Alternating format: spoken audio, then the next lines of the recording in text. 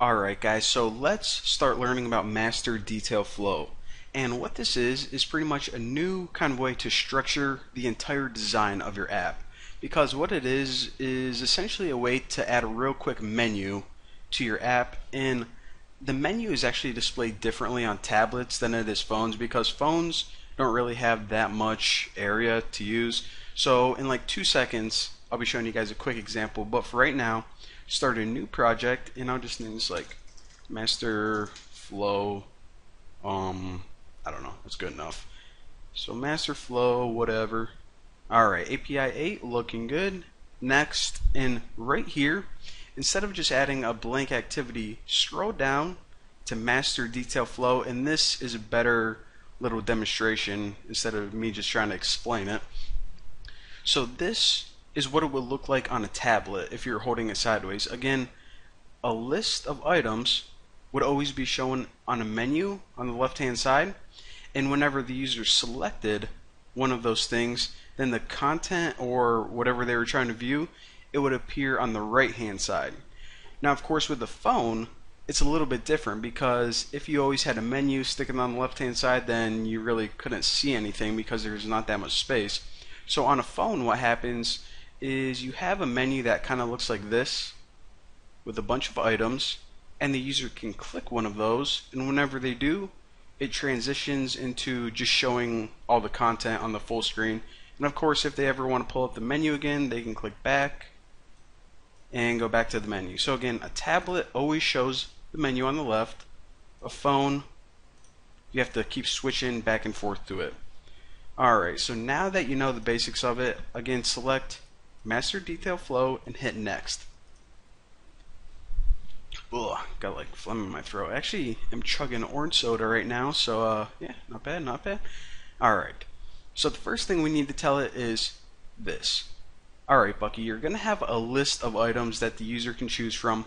What items are these? Well, for this example, what I'm going to do is for the content, I'm just going to be displaying web pages because it's really easy to do and um, I don't know I just think it'll be a good demonstration.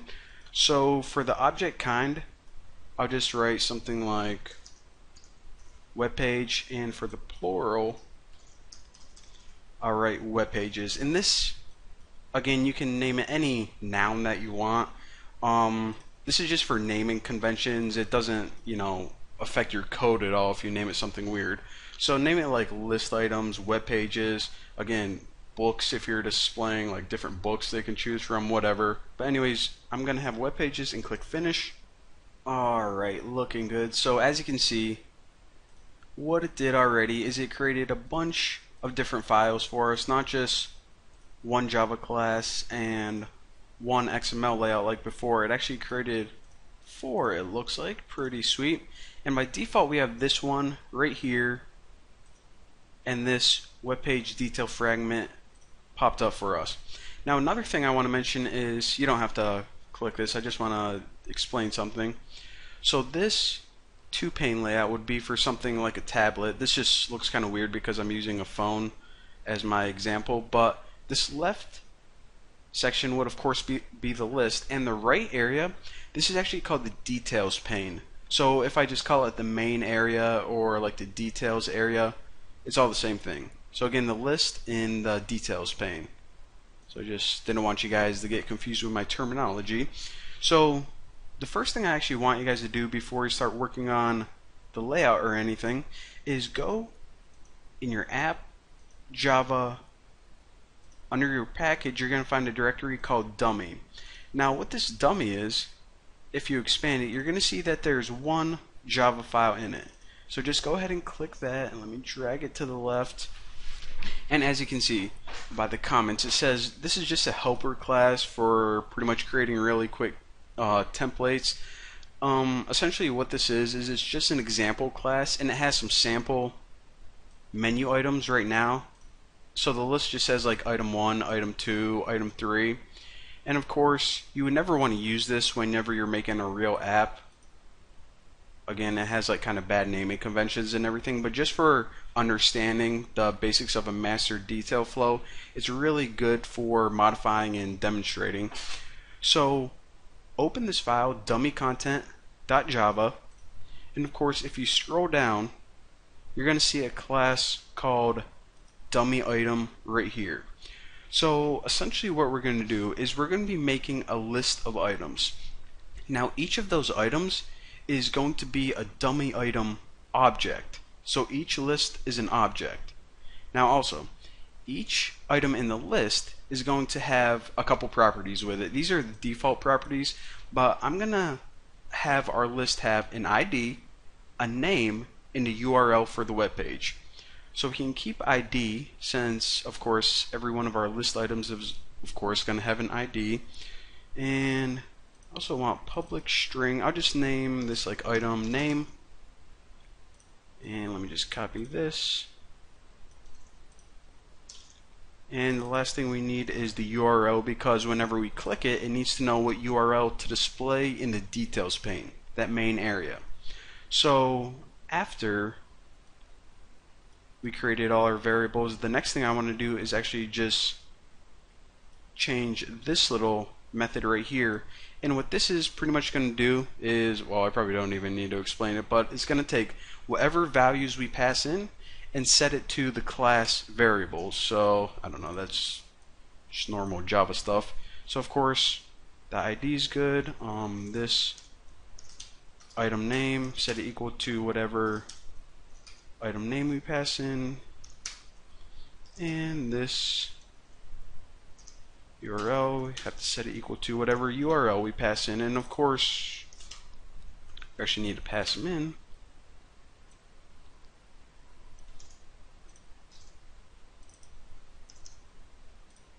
Alright, looking good. Alright, so again, one last time, this class is going to be responsible for creating individual items in our list. So of course, these are the properties that each item is going to have, and right here, all we're doing is, uh, I don't know, this just assigning the values to the variables. Normal stuff, and this last method right here, string to string, what I actually want to do is I want to return item name instead of the default content. So that's all we have to do as far as creating individual items. So now if we scroll back up, we're going to see that we got some errors right here. So again, for the example, whenever it was creating items, it just used two pieces of information, an ID and something else. I don't remember remember what it was. But right now, our list items are going to have three properties, an ID, a name, and a URL. So of course, if we go up here, this add item is essentially just a method that creates a new dummy item object and we already saw whenever we created a dummy item object that was of course a list item simple enough so of course it needs three properties that we need to pass in and let me pull up alright so this is what I'm gonna do so the first one, of course, is the ID. We'll keep that 1, 2, and 3. The second one was the name. So I'll just name this one like um, Bucky. And this can just be a URL to my profile. If I can get my cursor in the right place. Alright, so the next one can be a, um, it will display the forum and the last one will display the videos page. Alright, so what is the URL to my forum? That. And let's get the URL to the videos page. Again, use any three URLs you want. You don't have to use the same ones as I am. Alright, so again, what this bit of code does is it essentially creates three sample list items and each list item has an ID associated with it, a name, and this name is just going to be the name that appears on the list because displaying the URL look, I don't know, kind of stupid. And the URL, of course, is so we can pass it in and it knows what to display. Alright guys, so once you got all your housekeeping code written in the dummy content.java file, we can actually hop over to the fragment web page detail XML file and we can start working on the interface or the design of it. Now remember what I told you guys this app is going to do is it's going to have a list and the user is going to select from that list what web page they want to view and in the main area right here all it's going to do is display some web page. So the easy thing about this is that we don't actually need to have any widgets on here at all like no text areas, no buttons, no sliders or anything. The only thing we need to do is somehow display a web page in here. So how do we do that? Well, first of all, delete every single thing that's in your XML file and since this is the only thing in here they won't just let you right click and delete it so you actually need to go to your source code and delete all of this. So I'm going to pause my screen recorder right now and type all of the stuff that I need to type in and then I'll explain it. So you guys don't need to watch me type it because it's going to take a few minutes. Alright so what I did of course this is just housekeeping stuff but the widget I added is this web view right here. And actually, if you go down, it's this one right here. Now, what this web view is, is it's just an area or a widget that you can have that can display a web page. Easy enough. And also, what I did is, I know you can't tell because it's not giving me those grid lines, but I set it to match parent both for the width and height, and that way it takes up the entire screen size. So whenever we display a web page in here, it's going to display on your entire screen and not just a small section of it. Now another thing that I don't want to forget is I actually want to change the ID of this to, I don't know, I'll just name it like details area. Actually, detail area, that might be better.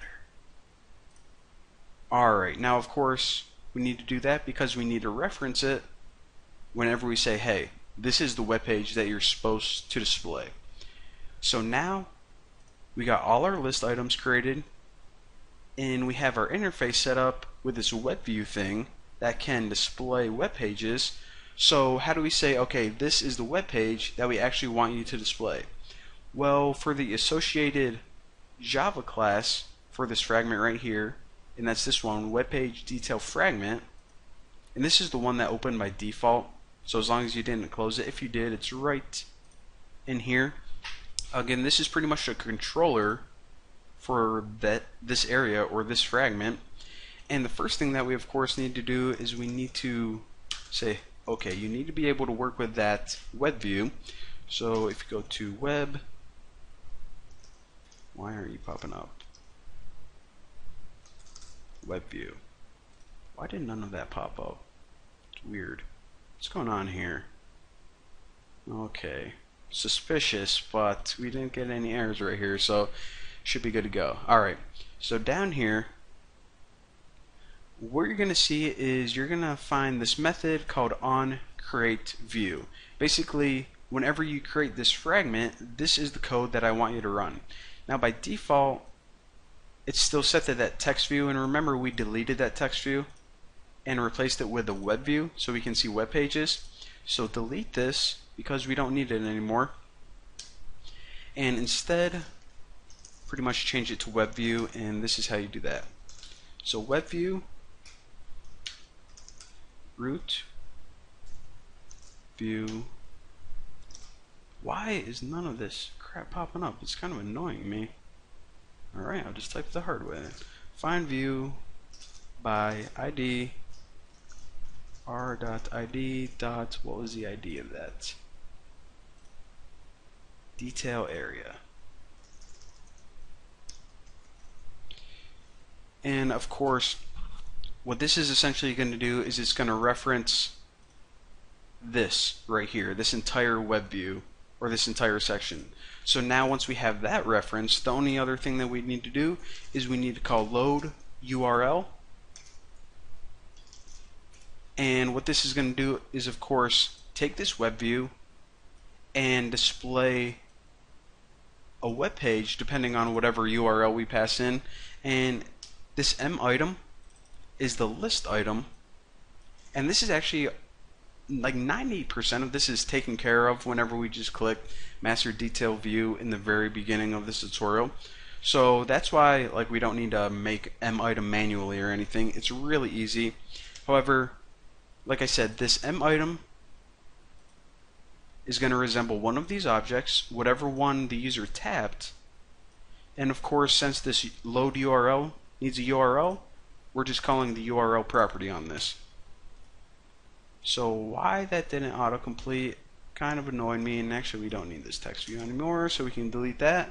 So the last thing that we need to do, one more line of code, is we need to head over to the manifest right here and again what this is is essentially the manager for your entire app. It glues everything together. Now since we're going to be using this web view right here, what this does, again, it displays a web page and we're going to be connecting to the internet. Now anytime you do that in your manifest, you need to say, hey, I need to request permission for the internet. So I'm going to type uses. See, none of this is popping up.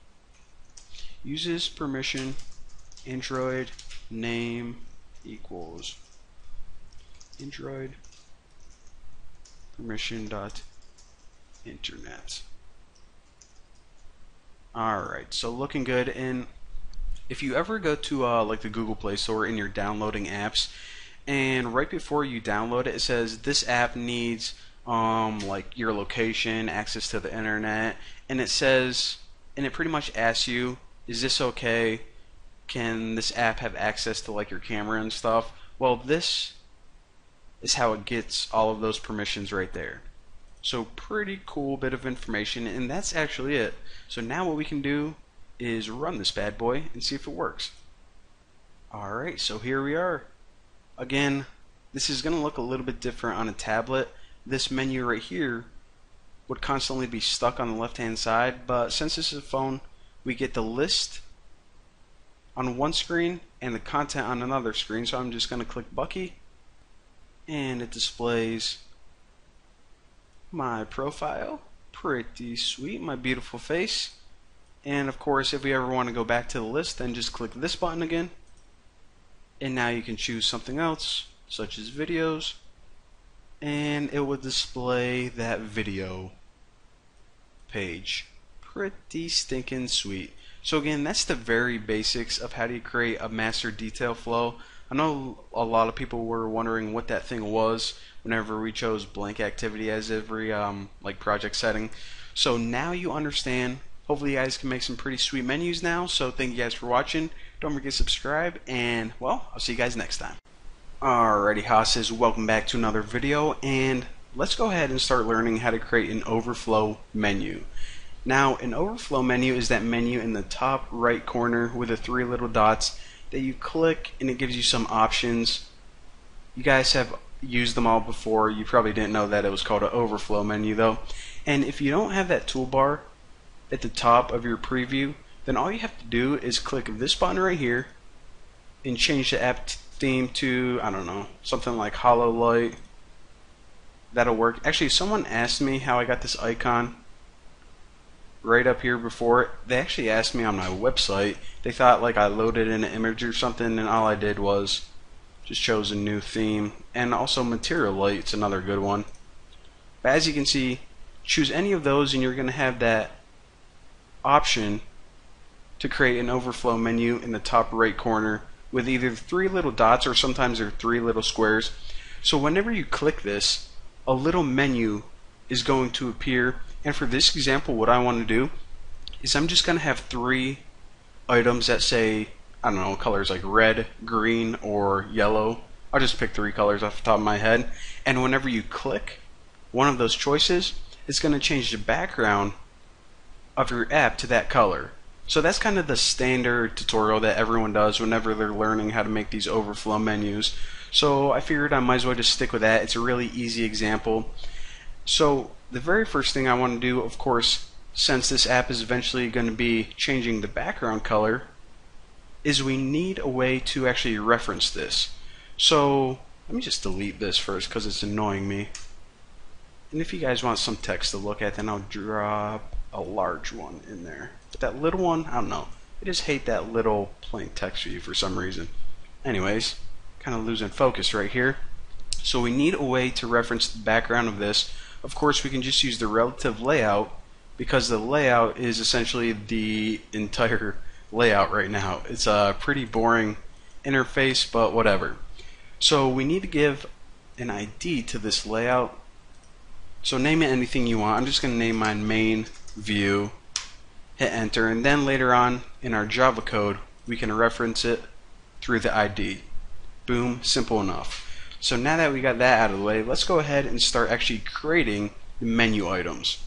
Now if you guys are like, oh, okay, this is going to be a pain, I'm going to have to like go in here probably and import some stuff and type this long, crappy, stupid thing. Actually, you are in luck because all of the functionality to create the overflow menu is built right in by default. Now, if you go to your resources folder and go to this menu directory right here and expand it, double click this main menu.xml file. What this is, is the design for the overflow menu right here. Now by default it has one item in it, so we can just delete that. But actually before we do, I'll mention this. So of course, your menu can have either one item, five items, however many you want.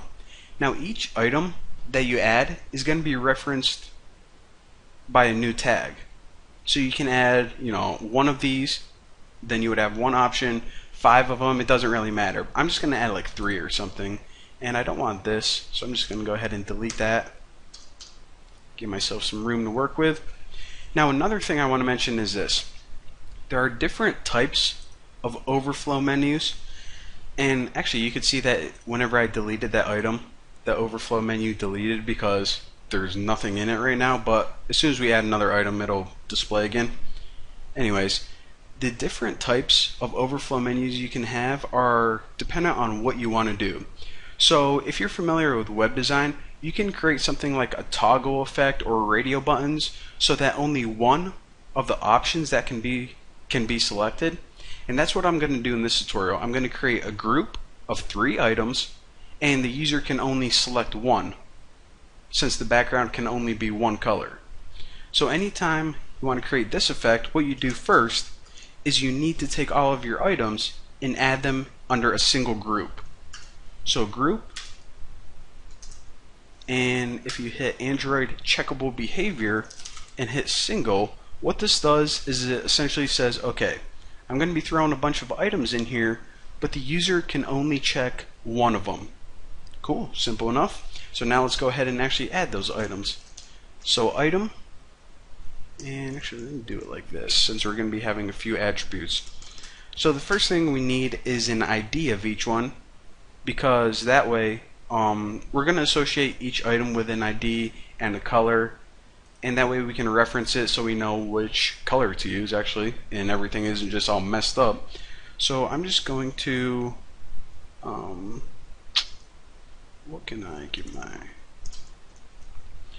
Alright, I'll just name it like menu red. That'll probably be the easiest. You actually only have to do this once, then I can just copy and paste it. Alright, so order in category. This is essentially the order of how you want them to appear. App show as action. Never want to do that, so I'm going to write never. And the last thing you guys can probably guess what this is. The title is the text that you want to display. And of course, we can either just type it in there like red, but it's proper to have a reference to a string, so I'm going to write string red string. And it's giving me an error because we didn't actually make that string in our XML file yet, but we will in just one second. Actually, I can do this. Save myself some time. Alright, so now that we know how to create a menu item, let me just save us some time and just copy that, copy that, copy that. Alright, so the first one is red. The second one will just have like green.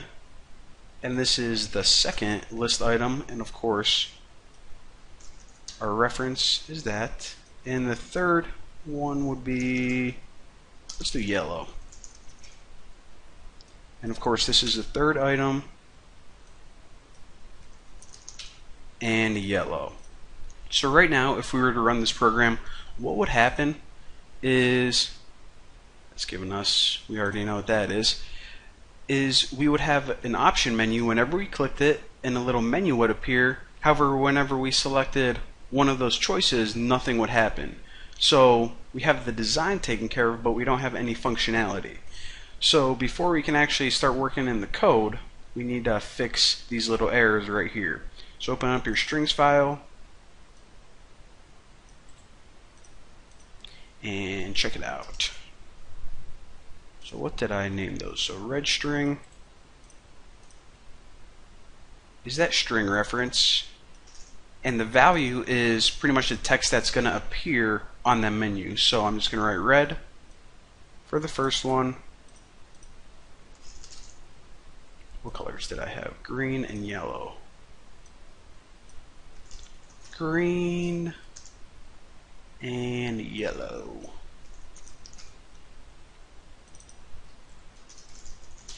Actually, when I, whenever I was like a teenager, and I used to answer the phone, I always said yellow instead of hello.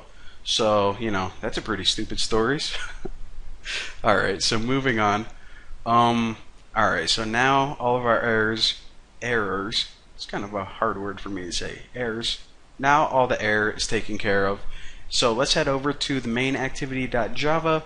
The first thing we need to do, since we are indeed changing the background of this, is actually have the ability to reference it. So Android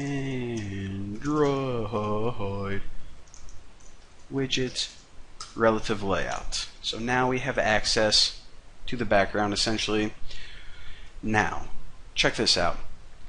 We actually don't even need to create any new methods right here because if we scroll down, this method right here on options item selected what this does is it calls this method automatically whenever you select an item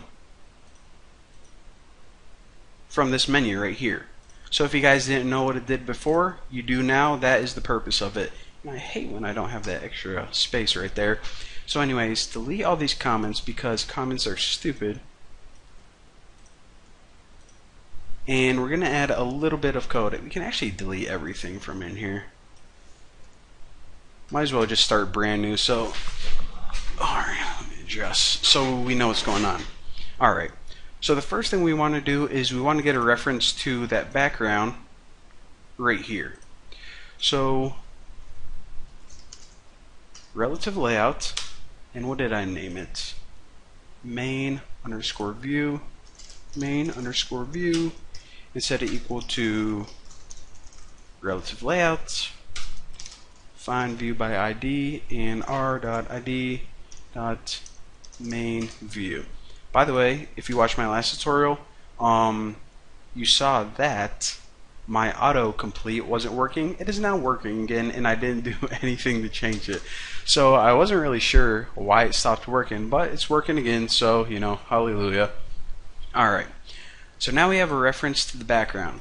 Now what we have to do is we need to say, okay, this method is obviously going to be called every time the user selects one of these options.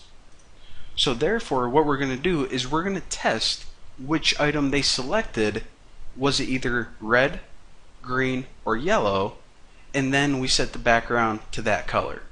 So what I'm going to do is the easy you can use a bunch of if statements if you want but the easiest way is to actually use a switch statement. Now the item and this is just what gets passed into us because, so we didn't have to make our own variable or anything. So this is a list item and what I want to do is I want to get the item ID. Now what this does is it returns if I can show you the ID right here. So either menu red, menu green if you selected the green, menu yellow if you selected the yellow. Simple enough. So now let's start coding the switch and some line numbers. Make it look good. Alright. So in the case that they select r.id.menu red, what do you want to happen? Well, the first thing I want to do is this. If that list item is already checked, and actually, since I'm only going to be writing one line, I don't need to include brackets or anything, but item set check equal to false. Else, item set checked equal to true. Now after this, and pretty much the main meat of this, is you take that main view and you set the background color to, in this case, it would be color dot red. Now, of course, since this is inside a function, we eventually need to return something. So we're just going to return true to let it know that we handled that event. And the cool thing about this is we can just copy it and paste it two more times. Alright, so the first one was for red, the second one was green, I think. So we need to change the background to green. And the third one was yellow. Yellow?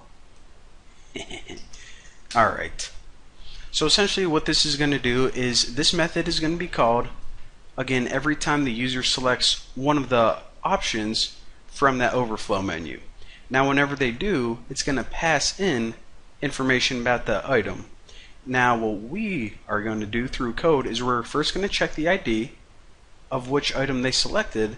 If it's red, then we're just going to um, make the appropriate appropriate toggle functionality for the menu itself and then we change the background color to that appropriate color and return true um, pretty much to let Android know that we took care of the event and everything is working correctly. Now the last thing I actually want to do is I just want to add a default since this is indeed a switch statement. And by default I'm just going to return super on option item selected item. And all this does right here is it says it's essentially saying okay an option was selected and this is just because if none none of this functionality hits, then we obviously need to return something for the function so we don't get any errors or anything weird going on. So again, this is just a default functionality to make sure anything doesn't break. So now everything actually looks good. That's all we needed to do. And I got my emulator running, so let me go ahead and run this bad boy. Alright. Alright, so let's see. Red. Okay, okay, good so far. Green. Okay, the moment of truth. Yellow. Oh, Too stinking easy. It actually works. Alright, so there you go. That is the basics of how to create an overflow menu. Thank you guys for watching. Um, yeah, that's all I got to say. So, uh, well, see you guys in the next video. But if you want to learn about transitions and animations, then welcome to the tutorial. Alright, so there was my intro. I hope you liked it because it took me like 8 hours to make that sick beat. So, uh, yeah, transitions, aka we're going to learn how to move crap across the screen basically. And later on, um, aside from like basic animations, I'm going to be showing you guys something called scene transitions, which you can pretty much take an entire scene and switch it for the user, and it kind of plays into what we're going to learn later on. Pretty much these thing called intents, and it's pretty much how you change entire views for the user. But anyways, I'm kind of overwhelming you guys. I know it already. Way to go, Bucky. Way to go. So let's go ahead and get started with a new project here. And I'm just to name this um, Tranny, it's just short for transitions, so I'm just to hit next right there. And another thing I want to point out, make sure that you're using API 19 for the minimum because even though it's not going to target all of the devices for this tutorial, we're going to be using some libraries and well just uh, compatible that way. So again, 19 unlike before when we were just using Froyo. Let's move up to KitKat. By the way, kind of ironic, um, Christmas was three days ago, and my grandma got me a huge bag of Kit Kats. So, you know, what do you guys care about that? What am I even talking about? Anyways, so let's go ahead and choose blank activity next, and that's good right there. Doesn't really matter what you name it. Alright, so our interface is looking sweet. Let's go ahead and change this app theme to anything else. Let's do material. Let's do material dark. Let's uh, switch it up a little bit. I forgot I named it Tranny. How did I forget that? It was like two seconds ago. It gets me every time. AKA one time. Alright, so what I'm going to do first is I'm going to delete this text view because as you know, I hate it and I'm going to drag a button here. Ooh, this one looks good. So drag that bad boy right there. And what this tutorial is going to do is it's going to essentially um, add a really basic animation to this button, transition, whatever you want to call it. It's going to take this button and we're going to move it in the bottom right hand corner and I'll also grow it by a little bit or enlarge it, I guess you might want to say and this is going to happen whenever the user touches anywhere on the screen. So pretty basic demonstration, user taps the screen, button moves to the bottom right corner, boom, roasted. So I know you guys are thinking like, but Bucky, shouldn't you give these things ID so we can reference them in the Java code? Oh, you silly old Englishman. Yes, yes I should. So the first thing I want to do is give this relative layout, which is pretty much your entire screen in ID, because we're going to be tapping that and we need to listen for taps. So ID, by the way, this screen, I tapped that. uh, these jokes, they keep getting worse. Alright, so anyways, one second, let me just laugh at my own joke a little bit more and done. Alright, so I'll just name it Bucky's Layout. that was a good joke though. That was good. That was good. and for this button, I am just going to name this Bucky's button. Should name it Bucky's butt, but that's a little bit immature if you ask me. So now we have a very basic interface, a layout and a button, and they both have IDs.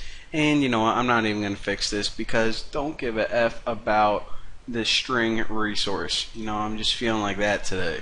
So now that we got that taken care of, hop over to your Java code and let's start importing everything we need. The first thing is view.motion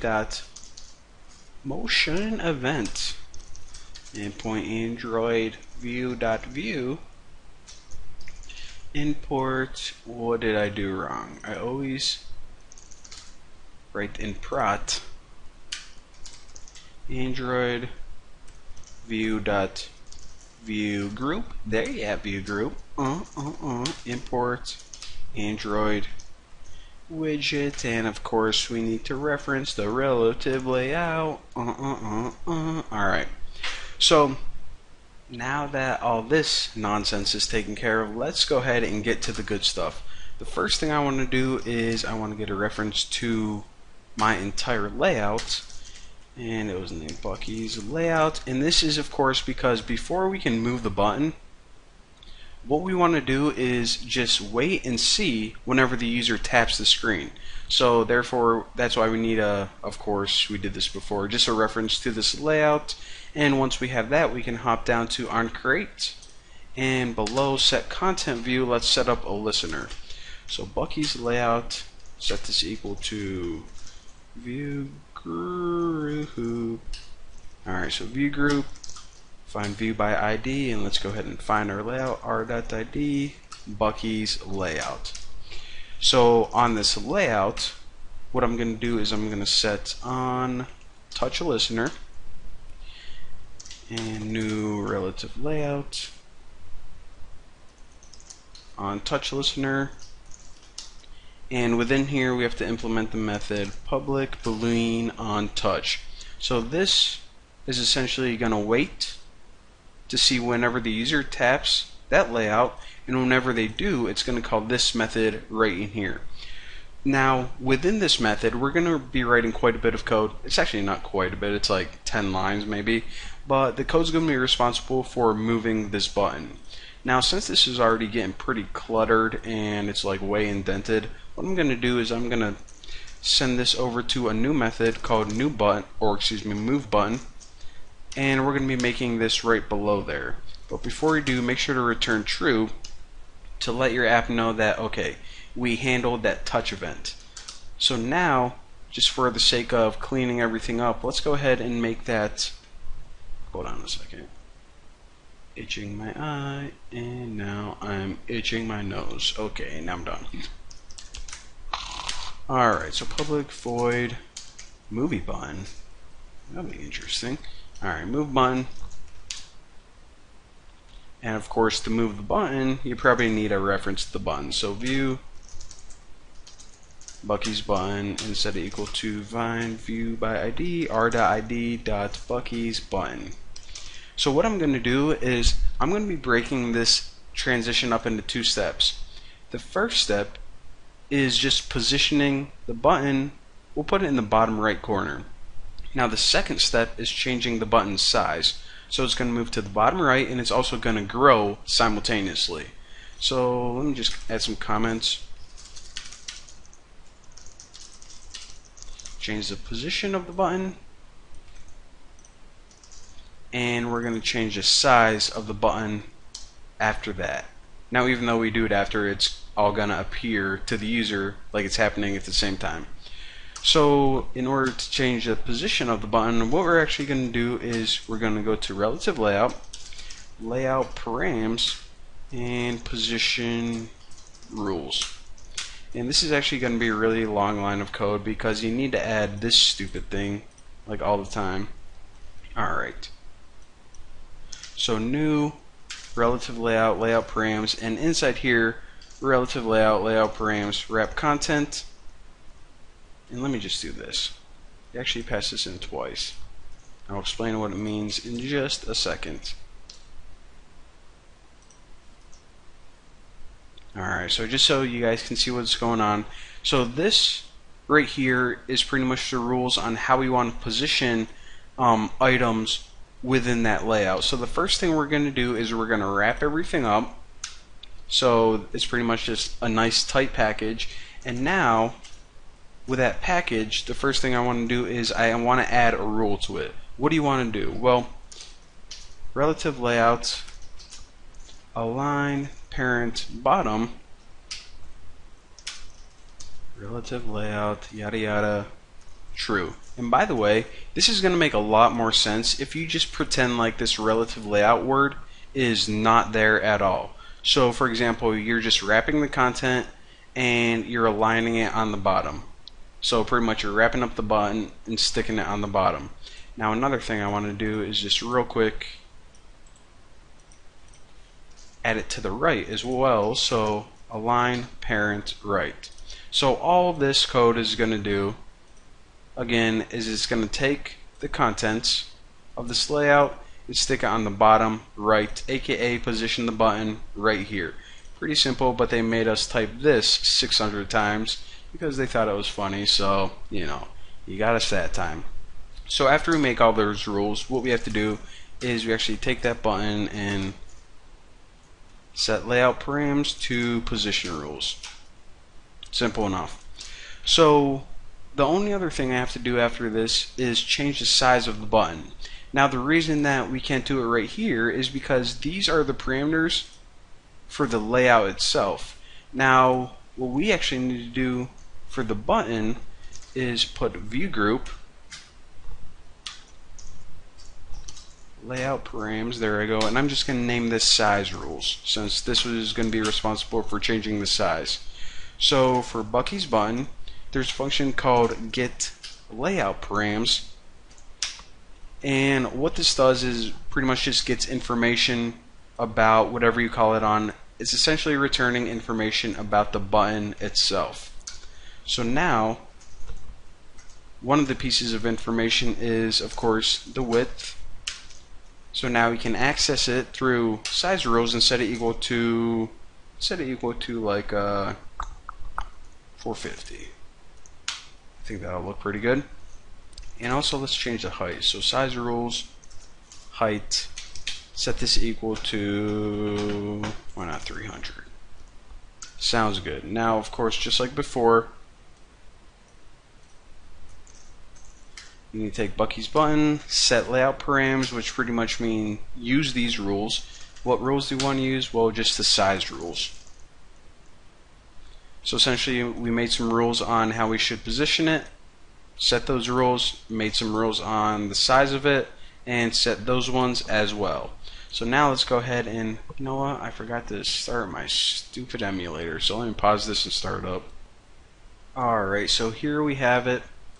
Let me go ahead and tap the screen, and our button moves to the bottom right, it grows, and, hmm, See, that's weird. See, I thought what was going to happen is we were going to have a nice, smooth animation instead of it just instantly hopping from the top left to the bottom right.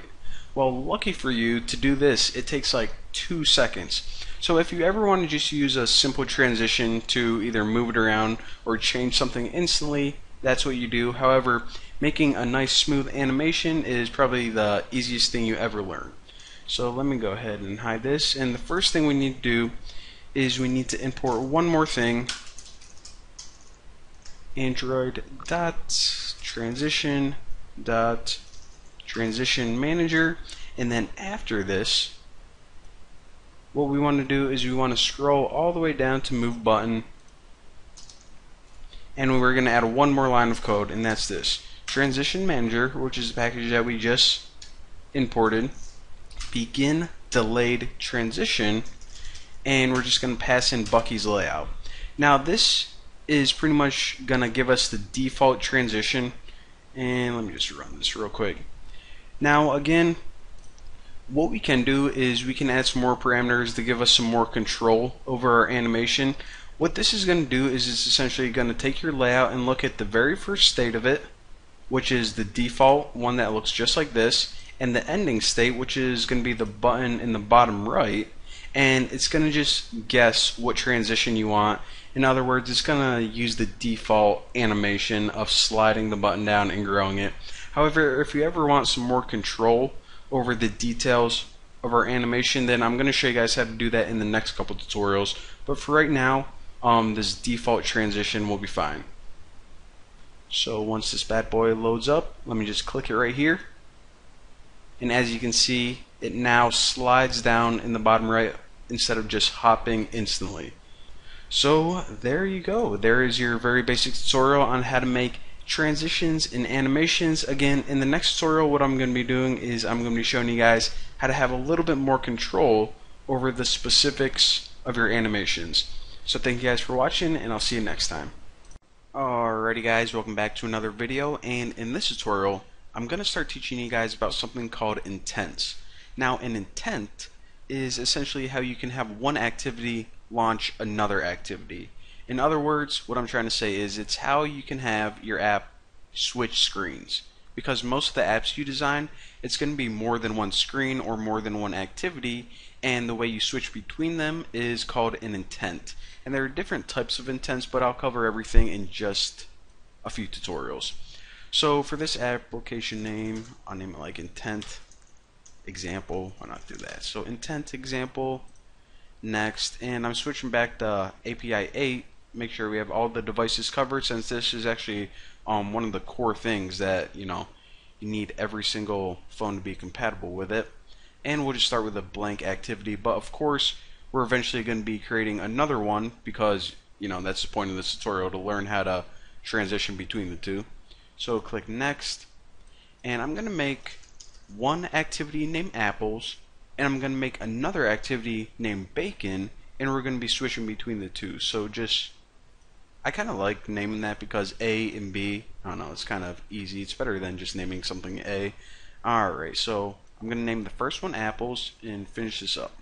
Alright, very nice, very nice. Alright, so the first thing I want to do is get rid of that text view and actually, go ahead and select your relative layout and let's make sure that this screen looks a lot different than the bacon screen.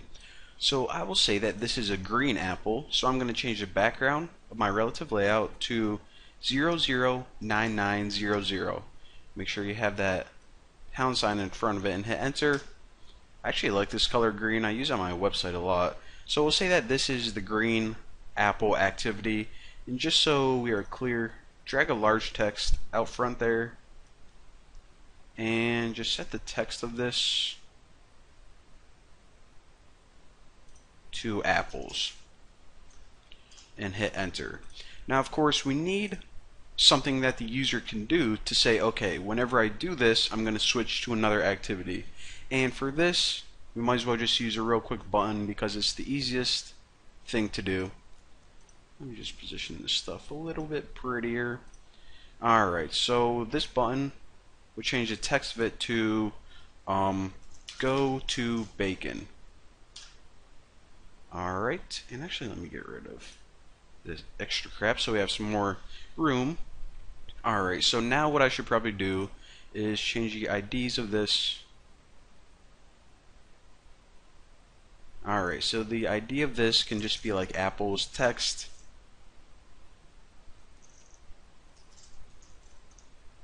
And the button, we'll just give it an ID of Apple's button. So pretty simple. We made a real quick activity, just has some text saying what activity we're on, and eventually whenever we click this, what's going to happen is the user is going to switch activities. However, for that to be possible, we actually need to hop over to our source code view, and instead of just going in our class and making a huge big listener, what I'm going to do is I'm just going to add one more element to this, um, or one more attribute to this button element. So if I go to Android, on click, then remember you can write something on here like on click, and then you just make an on click method right here, and you don't have to make a listener or anything like that. So now we can just make this method eventually and easily listen for button clicks. I don't know, it's like the really lazy way, but it works. So this activity is looking good right now. So let's go ahead and make that bacon activity. And if you want, you can fix your little string resource little warnings, but I'm not really worried about it. Alright, so now we need a bacon activity. So in order to do that, remember, just go to your Java folder right here, and in that main package where your apples Java file is, just right click it and select new activity blank activity. Pretty much adding another activity to our project. So I'm just going to name this one bacon. And make sure that you don't have the launcher activity selected because remember our apples one is the very first one that we want to appear. This is just going to be an extra one. So hit finish.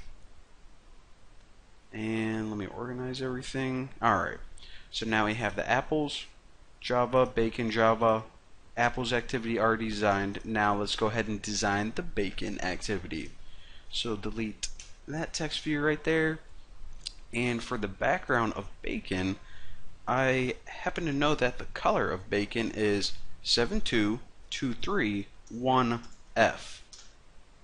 So that, ladies and gentlemen, is the color of bacon. This is actually the first thing I learned about computers. Before I even learned to turn on my computer, I learned the hex color of bacon. So now you do too. Alright, so let's drag just some text on the screen and let's change this text to bacon just so we know what activity we're on in case I don't know maybe someone's colorblind or something now just so I don't forget I'm gonna change the ID to bacon text and of course what we can do is we can add a button as well. Plop that baby in the center and change the ID to bacon button. And our let me change the text for that button too. Actually I'll just leave it the same. Since I'm going to be teaching you guys how to click this button and open up the bacon activity and it's going to be the same you can click this button and go back. But once you guys know how to do one you know I'm not going to reteach the same thing over and over again. So alright now that we got that taken care of, what we can do is just so you guys don't forget is let me go to my Apple design source code or the XML file and I'm just going to add that on click to that bacon button too. And that's just so if you guys ever want to be able to click this and switch back you can alright so looking good we have two activities switch those both to design view Make sure you have an ID, Apple text and Apple button, bacon text and bacon button. And once you have your designs ready, you're ready to start writing code. Alright, so now all we have to do is we need to write a little bit of code. It only takes like five lines to say whenever you click this button, go to this activity. So hop over in your apples.java file and we need to import two quick things. Import Android. Did I spell import right? Oh, I did for once actually. Content dot intent, and that's so you can actually use intents and of course import android dot view dot view tighten this up a little bit and of course remember since all we did is we created this on click attribute on the button in the XML file we don't need to add any listener at all we can just jump right down under on create and public void on click so again, this is the method that's going to be called whenever the user clicks the button.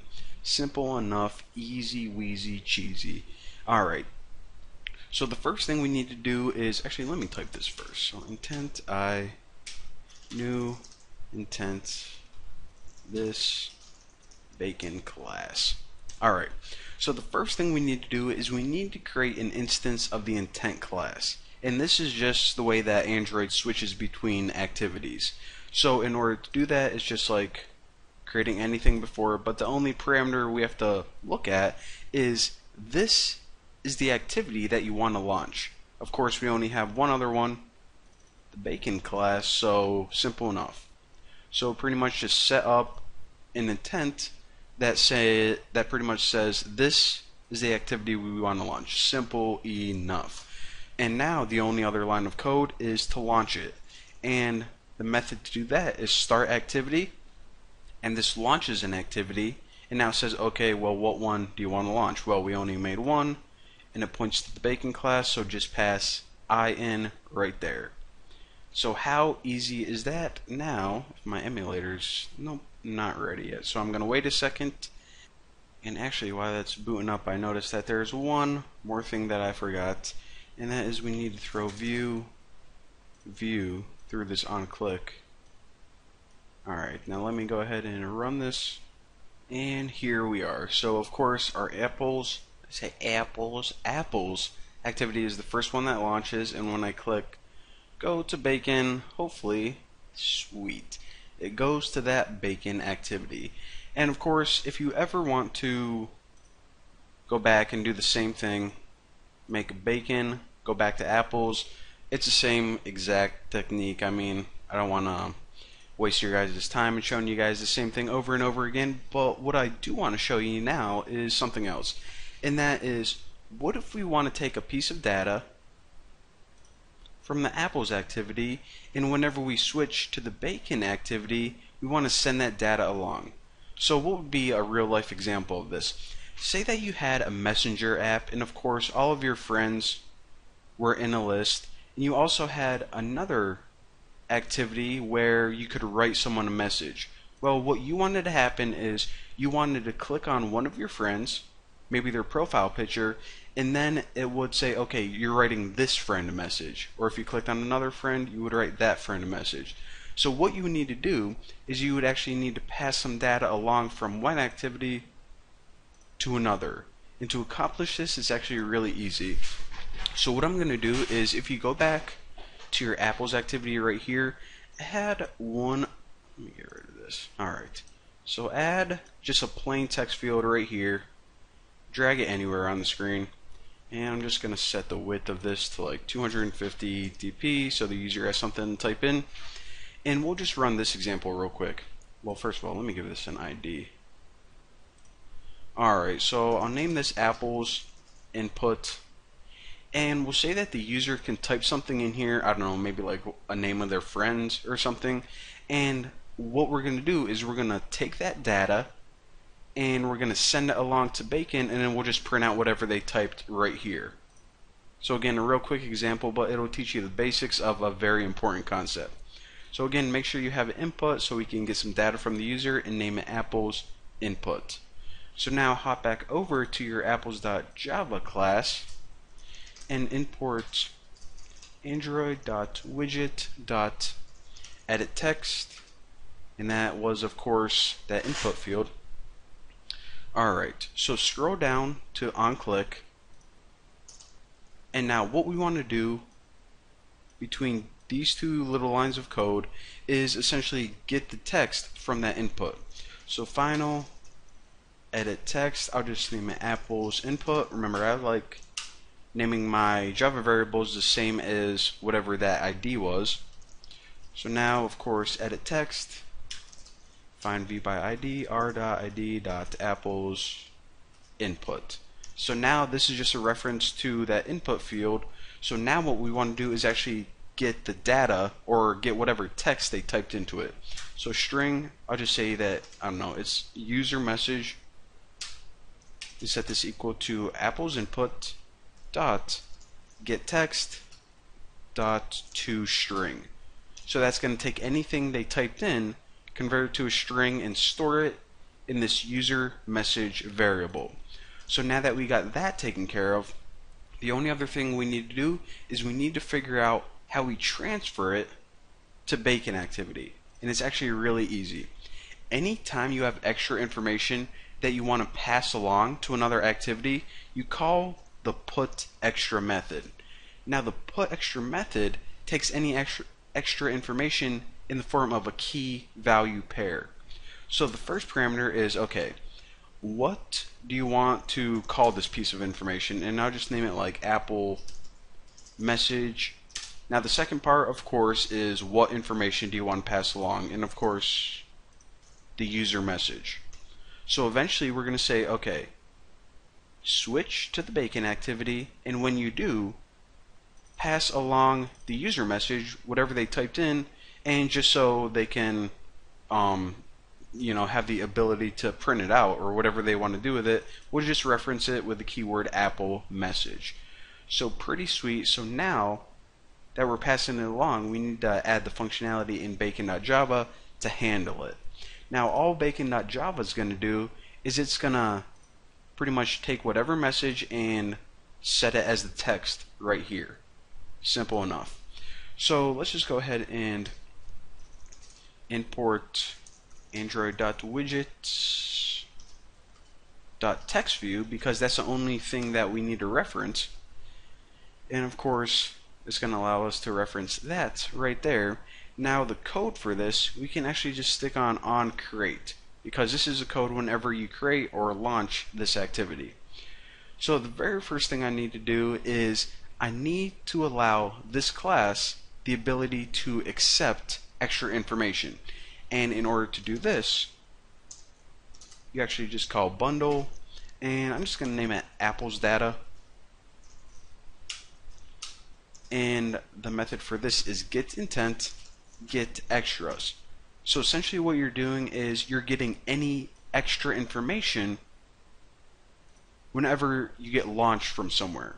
So this is gonna call the intent this is the extra information and any extra information we're just going to store in Apple's data simple enough so now what we have to do is actually want to test something first so we'll say if Apple's data equals null, in other words, there's no data.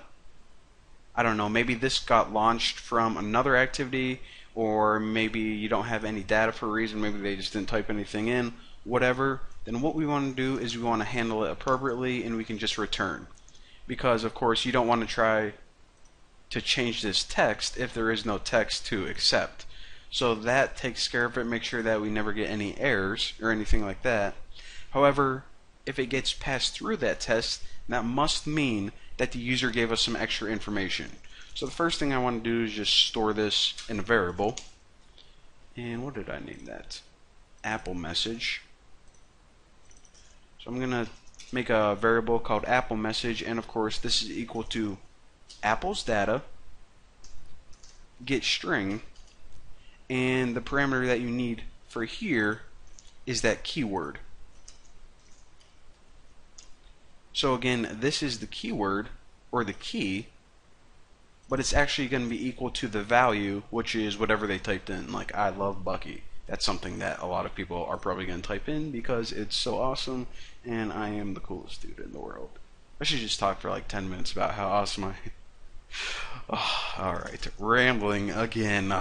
Alright, so the next thing I want to do is, of course, just get a reference to this text view and set it equal to our newly formed variable. Simple stuff here. So text view, and I'm in a bacon text, and set this equal to text view. Find view by ID r.id bacon text. And of course, you guys already know what all this does. Bacon text. If you ever want to change the text on something, you just call the method set text. And of course, remember that Apple message is essentially the string that the user typed in. Simple enough. So now let's go ahead and run this. Alright, now just let me type something randomly like Bucky is awesome. Go to bacon and check it out. What it did is it took that text and it passed it along and a pretty cool app. So we got apples to bacon, Bucky is awesome, tomato tomato. So now we pretty much know the basics of intents, not only how to switch, let me get this out of the way, from one activity to another, but we also learn how to pass information along with it. Pretty stinking sweet, so there you go. Thank you guys for watching, and I will see you guys next time. Alright guys, welcome back, and in this tutorial I'm going to start talking to you about broadcast intents and broadcast receivers. Now, it's a little weird concept to understand at first, but essentially what a broadcast is, is when your app sends out a system-wide message, kind of like a radio broadcast. It doesn't really have any specific target. It's just sending out this really broad message. Now, the reason that this happens is because you can make other things called broadcast receivers, and whenever your broadcast receiver says, oh, look at that, that message is something I want, then you can make your app do whatever, I don't know, like whatever functionality you want. So what we're going to be doing in this example, I know it's kind of like hard just for me to like talk talk about it and explain it, but in this example, what we're going to be doing is we're going to be making two entirely different Android projects. And these projects are going to essentially communicate with one another. So how cool is that? Before, of course, we could do things with different classes and stuff, but never before have we created two entirely different projects and have them be able to communicate with each other. So go ahead and start a brand new project. This is going to be our first one, and I'm going to name this one um, send broadcast. So one of the projects is going to act like that radio tower. It's going to be responsible for just sending out that um, system-wide broadcast. And their other project is going to be like, hey, I actually want to do something whenever I got that message, so, you know, that's what's going on. So, click next. That looks good right there. Next. And we want to set this one is a blank activity. Sweet.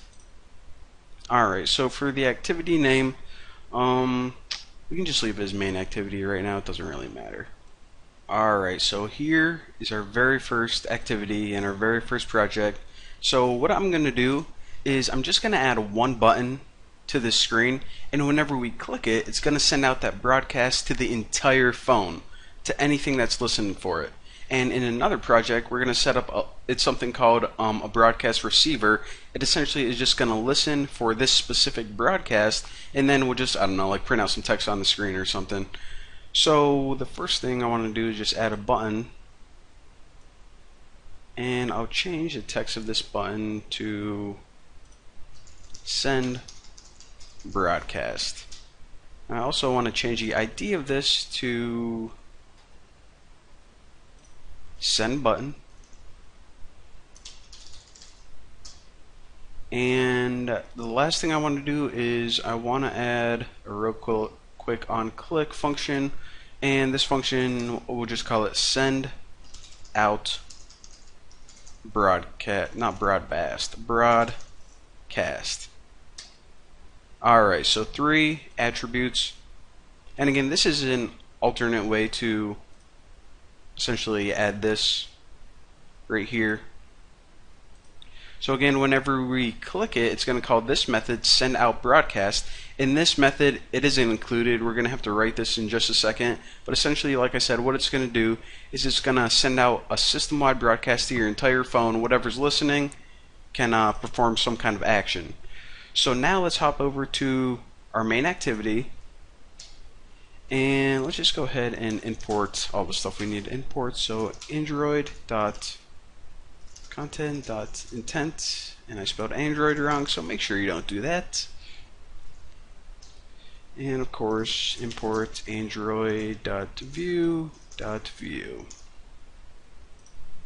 Alright, so the only thing that we need to do here is we need to build one method. And that method is send out broadcast because that's the only thing that this activity and this project essentially is going to do. So public void send out broadcast view view. So the first thing we need to do is we just need to make an intent. So intent i instead equal to new intent. Now remember before I said whenever you make an intent, intent generally what you do is you put some kind of class in here and then it looks for that class. For example remember we had that bacon class in the last tutorial and it just pops it up into a new screen. However this is a special kind of intent because it doesn't have an explicit um, class or another screen that it's going to call. It's just going to kind of broadcast a weird message to anyone that's listening so that's why we don't need to throw a class right in there so after this, what we need to do is take that intent and call a method on it called set action. Now for right now, just copy this package name right here and throw it in here as a string. Now the reason that we need to set action on all of our broadcast intents is this. Say that you have a bunch of different programs on your phone and they're all sending out these broadcasts well, maybe we want to uh, make a program later on, but it only wants to listen for broadcasts from this application. So again, if we have like a hundred different, or not a hundred, that's unrealistic. If we have like ten different apps and they're all sending out broadcasts, well, we don't want to listen for all of those. We only want to listen for this broadcast, for this intent. So the set action is essentially a keyword that I don't know. It's like this is the keyword for this broadcast. That's essentially what it does. So another thing that I want to do real quick is something called add flags and intent flag include stopped packages. Now you don't really need to um, memorize this. Just make sure you have it in there every time. It's just because they changed the Android operating system, and just to make sure that this intent broadcast is compatible with all versions of Android, you need to have this. So, you know, that's kind of their fault. Nothing that we did. So, the last thing, of course, in order to send that broadcast, you just send it out just like that. So now, as soon as we click this button, what's going to happen is it's going to call send out broadcast. And what send out broadcast does is it's just going to say, okay, I'm sending out this broadcast can anyone hear me? This broadcast is going out to the universe. I'm sending it out. So of course that's what it does. In in the next tutorial, what we're going to be doing is we're going to be setting up something called a receiver in a brand new project, and it's going to accept this or wait for this to happen, and then we'll just make something cool happen whenever it occurs. Alrighty, Hosses, so that is actually all we need to do for this project. So the next thing I want you to do is go to File, new project, and we're going to be making, like I said, an entirely different app for the broadcast listener or receiver. So I'm just going to name it, what was my last one? Send broadcast, oh, receive, broadcast, and that's good. That's good. Now another thing I want to do is I'm just going to choose add no activity. So again, this is just going to be a listener, so we don't really need a screen for it, and click finish. Alright, so we don't have an interface or any design, but of course we still need somewhere to write some code. So expand project and expand app, Java, and in this first top package right here, remember that's where we put all of our Java files, so right click it and choose New Other Broadcast Receiver. Since that's all this is, it's a program that receives broadcasts. Simple enough. Now for the class name, I'm just going to name it Receive Broadcast and make sure that both of these are checked by default and click Finish. So what it does is it builds us pretty much a generic class to receive broadcasts. So eventually we're going to be listening for these broadcasts and whenever one occurs and we actually accept it, what do we want to happen? Well, all I'm going to have happen is we're just going to print out a little message on the screen. It's called a it's kind of like um, a quick little notification or a pop-up. You may be familiar with them. You'll see whenever we do it. But in order to do that, we actually need to import android.widget toast. And this imports a piece of toast, so if you open up your CD drive in your computer right now, you're going to see a piece of toast in there. Alright, I'm just kidding. This is for the pop-up. Now, like I said, this on receive method is going to be called whenever we receive that broadcast, that specific broadcast that we're listening for. So what do we want to happen whenever that message gets sent out and we listen for it and hear it? Well, all I'm going to do is make a little pop-up appear on the screen. So it's toast make text, which pretty much means make pop-up.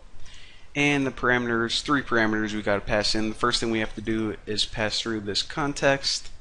The second one is the string that you want to appear, pretty much uh, for your pop-up. And I'll just write like broadcast um, has been received.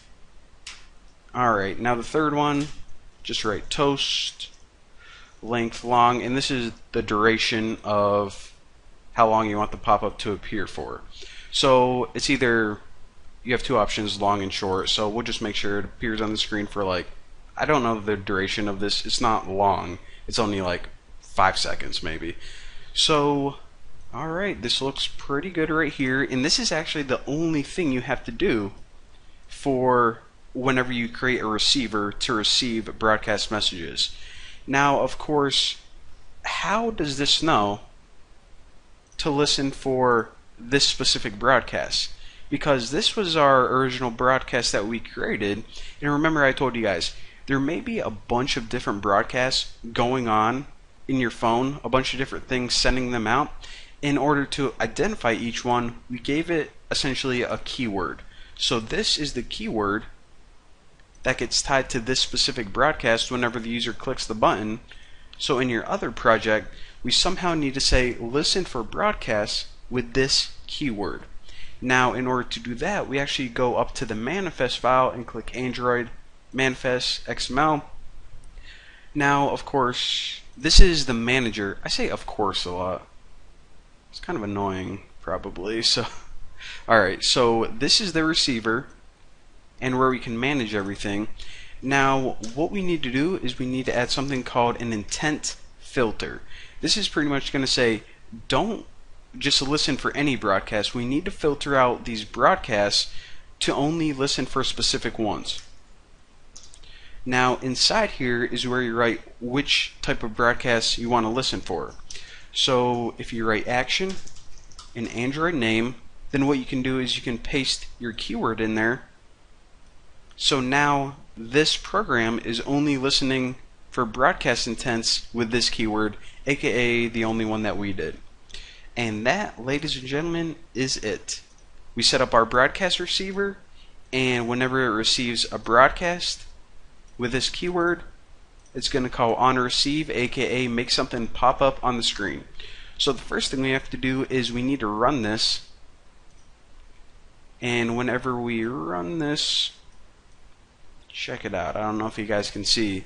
But one thing I want to make sure you guys do is click launch default activity. You see how this is default? Well, we don't want to launch this at all because this is just a listener. It doesn't have any screen associated with it or anything like that.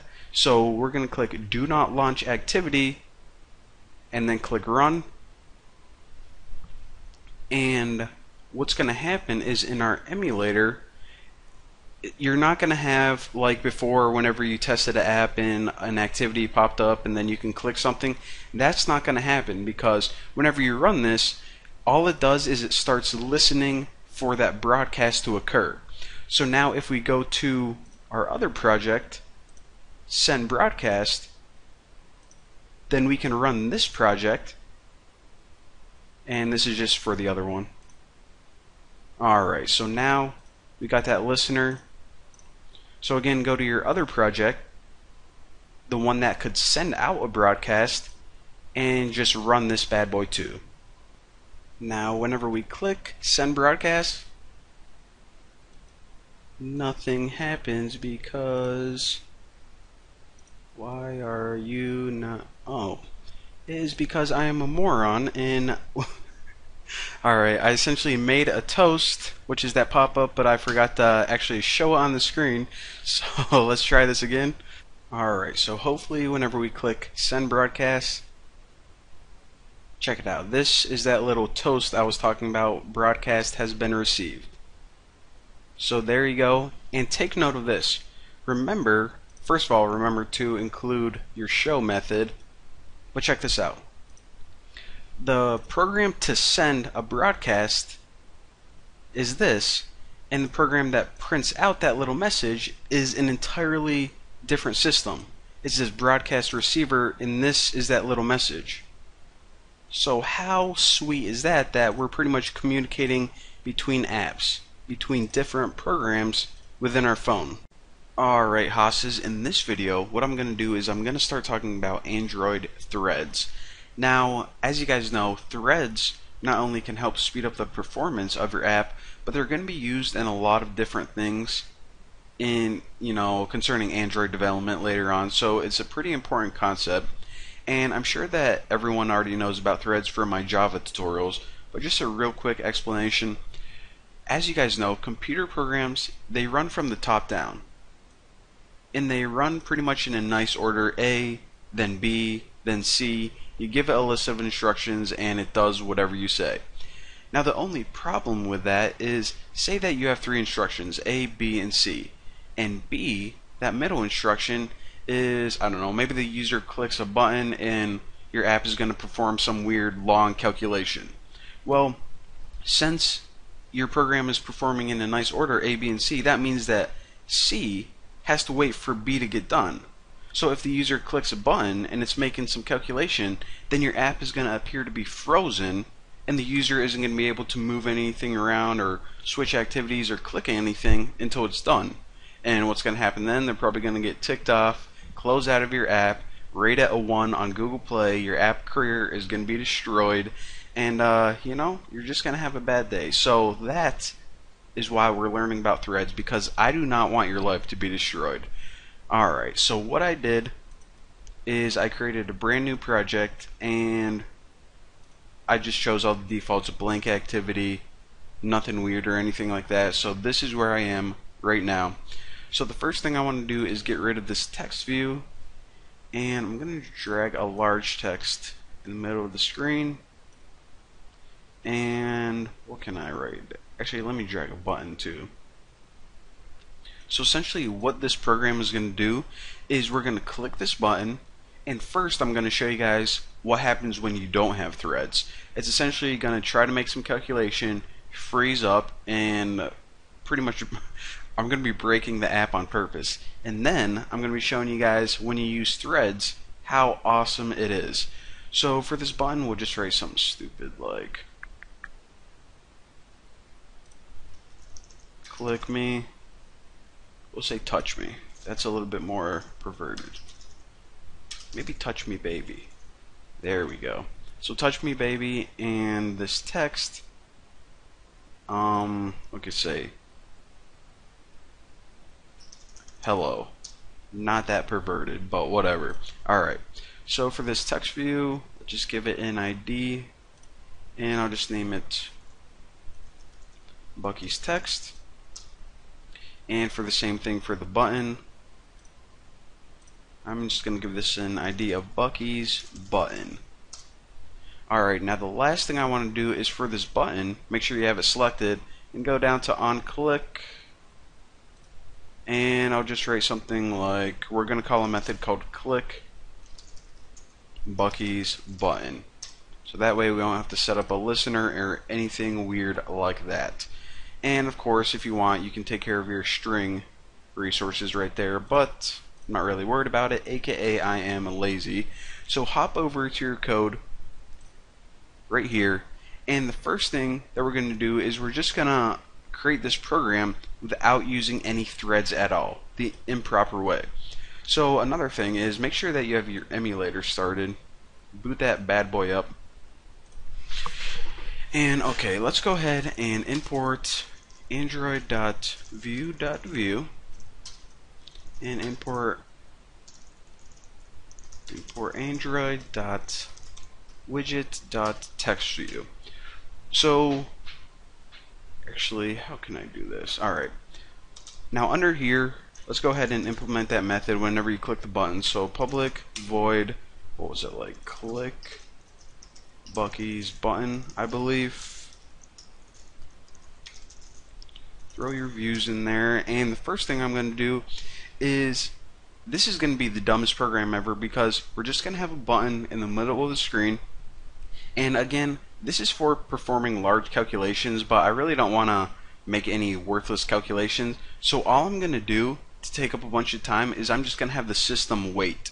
Pretty much just wait and do nothing for a certain period of time, and this is just going to simulate, I don't know, maybe like going to a database and gathering some data, or maybe figuring out some high score or something, or any calculation that takes a considerable amount of time, it's what it's going to simulate. So the first thing I'm going to do is I'm going to get 10 seconds into the future. So if you just make a variable called future time, you can do this by going system dot current time and this of course is the time right now well not right now whenever you run it it's going to get the current time and we're just going to add 10,000 to it now this is 10,000 milliseconds so that means that future time whenever this program runs is going to be 10 seconds in the future so now we're just going to make a real quick while loop and we'll say while system dot current time milliseconds is less than future time, what do we want to do? Well, the first thing we're going to do is called synchronized, and I don't know if um, I tell you guys about this synchronized keyword in my Java tutorials. I, I made those like a few years ago, but what synchronized essentially does is it prevents multiple threads from bumping into each other or essentially trying to do the same thing it uh I don't know kind of synchronizes it. It's a pretty good keyword. Actually, think I did teach this because I remember it. But um, again, we don't really need this for right now since we're not using threads. But later on, we're gonna have it, so I figured I just might as well write it right now. Now inside here, we're just gonna have the easiest try block ever. And check this out. All we're gonna do is wait, and we're gonna stick future time minus system current time milliseconds and it's giving us an error because we didn't catch anything. So we'll just catch an exception and we won't do anything with it because I really don't care. Alright, so all this code does right here essentially is it just waits 10 seconds. And you, if um your emulator is running a little slower or something, you can change the time of it right here. But 10,000 means 10 seconds. So again, this would obviously be some kind of calculation. You would never want to write this actual code in your app just to wait and do nothing. But for simulating some kind of calculation or background process, it's perfect. So after 10 seconds, after the user clicks the button and waits 10 seconds, what we can do is we can just change this text field right here. So text view, Bucky's text set equal to text view find dot dot Bucky's text. Uh-uh. And of course, once we have a reference to that text field, we can just change the text on it using set text. And I'll just write like nice job Hoss whenever they click the button. So now let's go ahead and run this bad boy. And again, this is what's going to happen. Let me kick this, get this started first. So the user is going to click the button, and they won't be able to do anything for 10 seconds because it's trying to perform this bit of code first. That means that the button's going to be frozen, they aren't going to be able to switch activities, nothing is going to be allowed for the user to do. Oh, that's nice, mate. Look at this app I just got. It's uh, it's this app, and you touch this button, mate, and it changes the text right there. I mean, this technology is incredible. So let me just touch this button, and huh? Oh, looks like it's frozen, and it ain't letting me do anything, mate. I'm just waiting here for 10 seconds, and uh, oh, I can't click it again or do. Oh, well, there we go. Well, that was kind of a pain. So I guess I'm installing that rating it one star on the App Store, and whoever developed it is probably going to be fired from their job. Oh, now we got this thing. Oh, MG.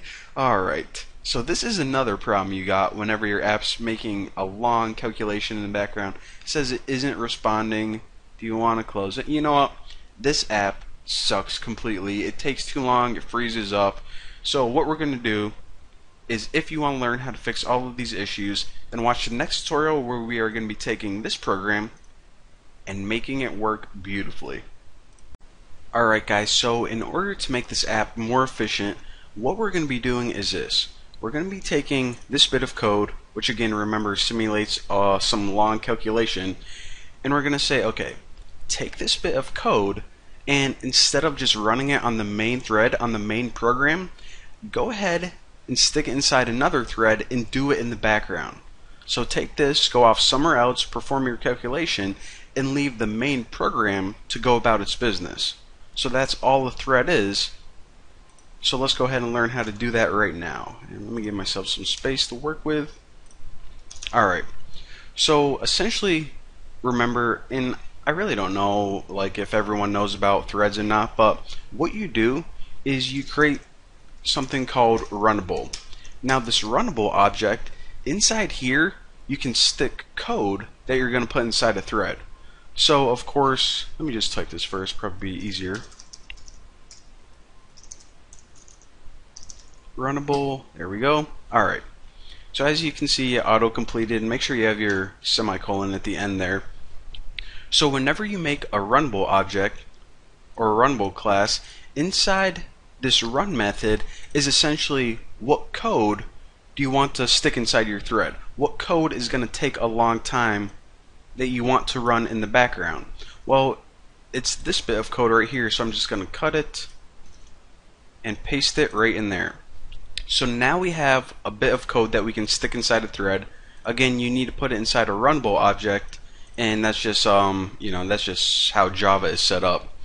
Now, another thing I want to point out is this make sure that you do not stick this bit of code inside any thread, any runnable object, or anything like that. The rule is, whenever you're making Android apps, you never want to change any interface element, update the interface at all within a thread. In order to update the interface or change the user's view, we need to make something called a handler, and I'm going to be showing you guys how to do that in just a second. But anyways, to finish this thread, up right here, again, we stuck all of our code inside runnable right here, and now we need to stick it inside a thread. So I'm just going to name my Bucky's thread, and you set it equal to new thread with your runnable code inside there. So again, you can actually have multiple threads with multiple bits of code, and whenever you call them, they can run all at the same time. So you can actually have three different ones right here, and it's actually depending on your computer or your device how many threads it can run at the same time. But essentially, you can have four different chunks of code all running at the same time instead of just top down one at a time like we learned before. So this creates a new thread, and the one last line of code you need to do is you just need to start it.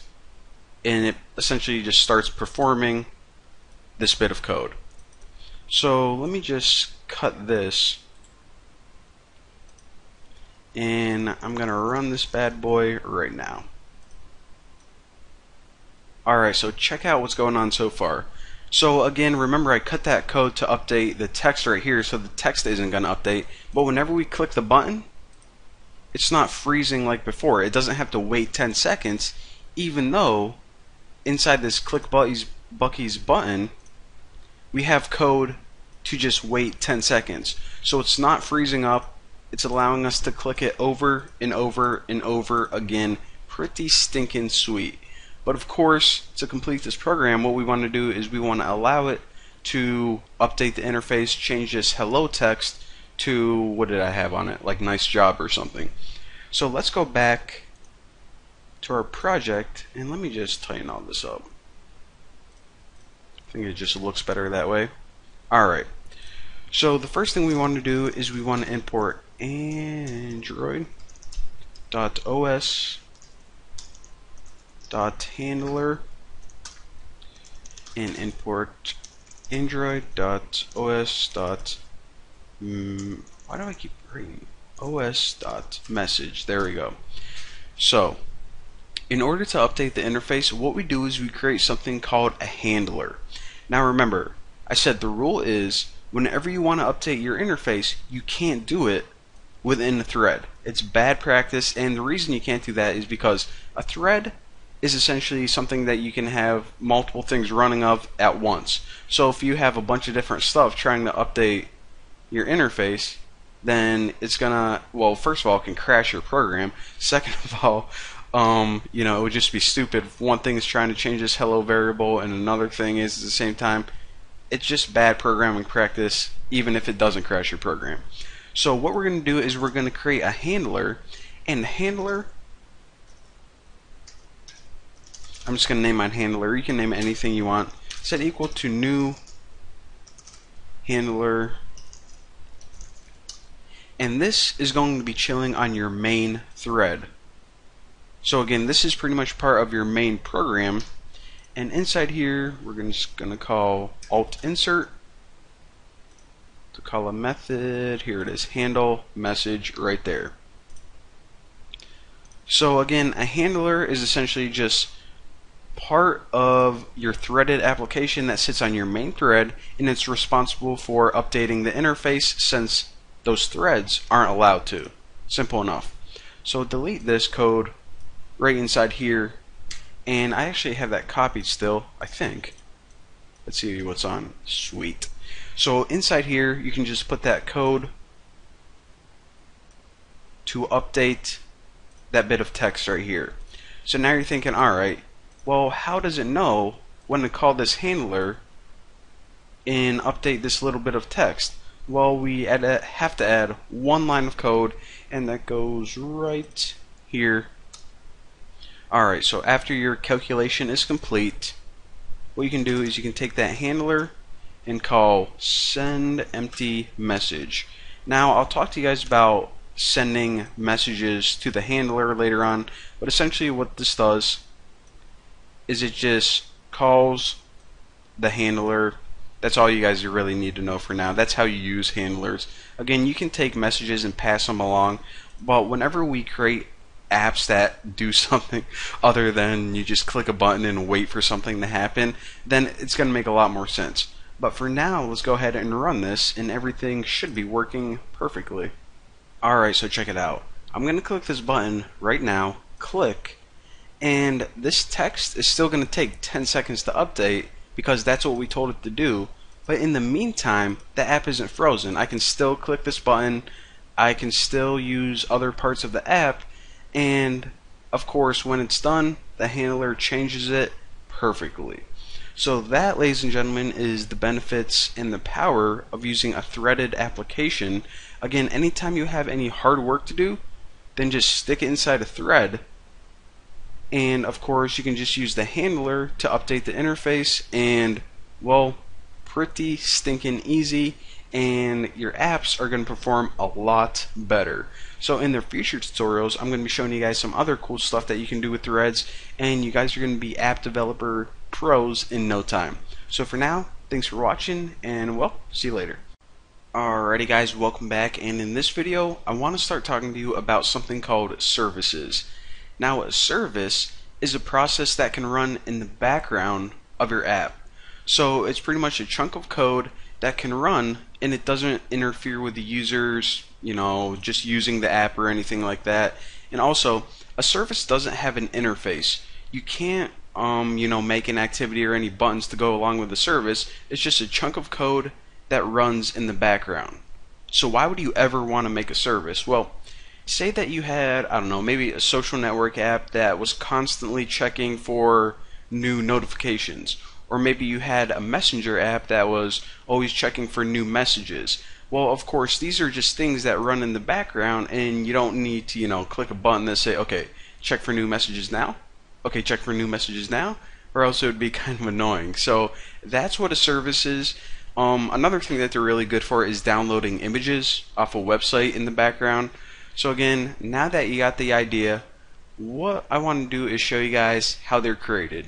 And what I did is I pulled up that Apple's bacon program that we made earlier, and that's just because I'm going to show you guys that whenever you create a service properly, it's just a chunk of code that runs in the background and it doesn't interfere with the user experience. You can just put a button on the screen or something, just anything that you can interact with to essentially demonstrate that, okay, the service isn't interfering with user experience at all. So, actually, we can close out of these. We really don't need those files. We're not going to be editing those at all. So again, I'm going to keep my apples and bacon Java files open just so you guys see what's going on. Now, the first type of service I'm going to show you guys how to create is called an intent service. And in order to create this, go to your main package right here and right click new and add a new Java class. Now I'm just going to name this Bucky's intent service and click OK and we'll just pretend that this service is for downloading images off the internet. Although all I'm going to do is I'm just going to print out a little um, bit of text that says like uh, the service is running or something, but we'll pretend that this is for downloading images off of like I don't know, maybe we made like an Instagram type app or something like that. Alright. So whenever you make a new intent service, there are a couple rules that you have to follow. The first rule is you need to have a constructor in here, and that's just kind of for housekeeping. And the second rule is you need to have a method called on handle intent. Now, inside that method is where pretty much whatever you want your service to do, that's where the code goes.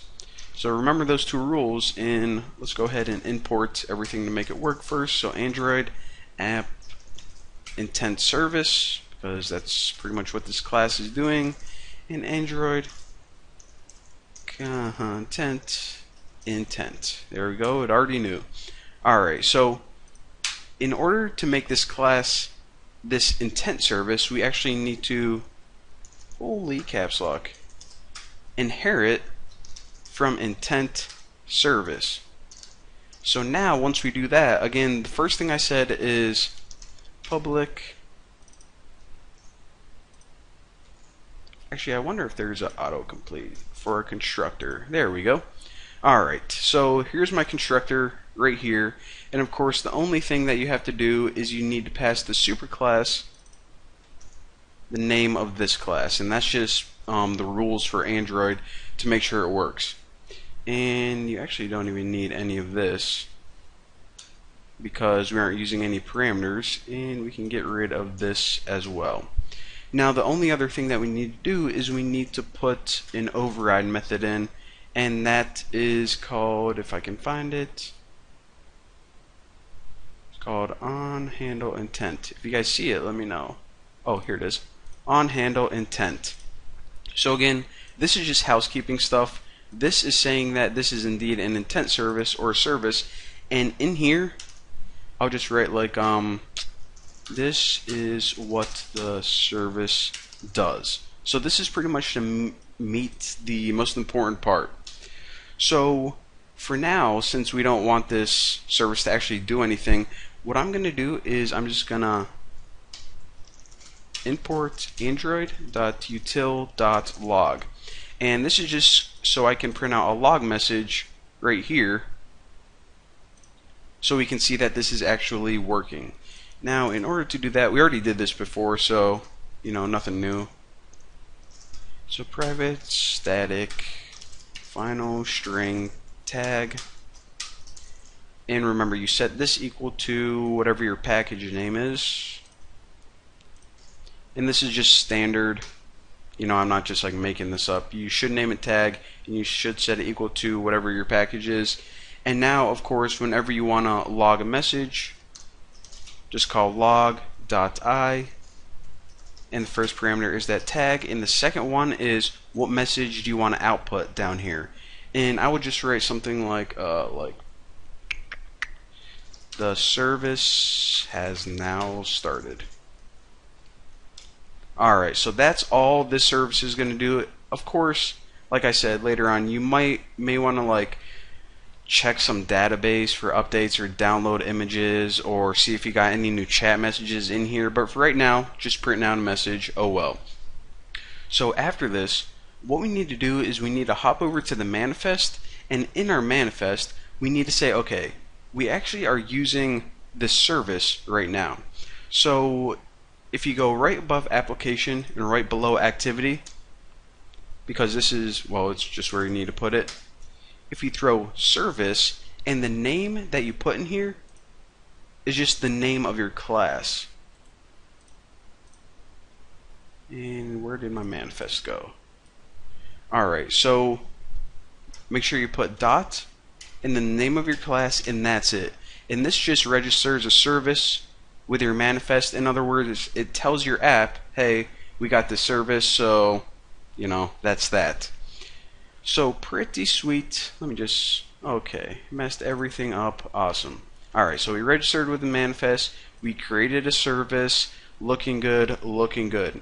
Now the one last thing that we need to do is we need to actually start this service. Because remember I said a service is pretty much some kind of process that runs in the background. But it doesn't just start by default whenever your app starts. You have to kick it off manually. So in order to do that, we can just head over to apples.java and we'll just throw it right on this on create. So whenever this app gets created, it's going to kick off that service. Now, in order to do that, intent, I'll just name it intent, and set it equal to new intent, and the parameters are of course this, and if I can just copy this, it's pretty much like any other intent actually, come to think of it. Alright, so now we have an intent, which means we intend to la launch some kind of class, and that class is this service or this background process right here. Easy weasy. Now, anytime we want to start service, you just call start service. What do you want to launch? Well, how about that one right there? Alright, pretty stinking sweet. So now, as soon as this app starts, it's going to launch this service, and the one thing I actually forgot to do is set up this log filter because this is going to print out log messages but as you guys can see there are crap load printing out right here and this would indeed print them out but it would print out all these other ones as um, well so of course what we want to do is we want to filter out only the ones that we care about so copy this hit edit edit filter configurations and I'm just going to make a new filter called like Bucky's filter and throw that right in there. Alright, so that's a little bit cleaner. So now let me go over to Apples again and kick this baby off. Alright, so check this out. It says the service has now started. In other words, this service currently, right now, would be doing something like downloading images off of the internet. But check it out. I'm going to click it, it goes to bacon, click it, it goes to apples. Essentially, we can have this service running and it doesn't interfere with the user experience. So now you guys are probably wondering, alright, well you told me in the last tutorial that computers run a list of instructions in a nice, neat order. So how is it that we can be having two different things happen at the same time?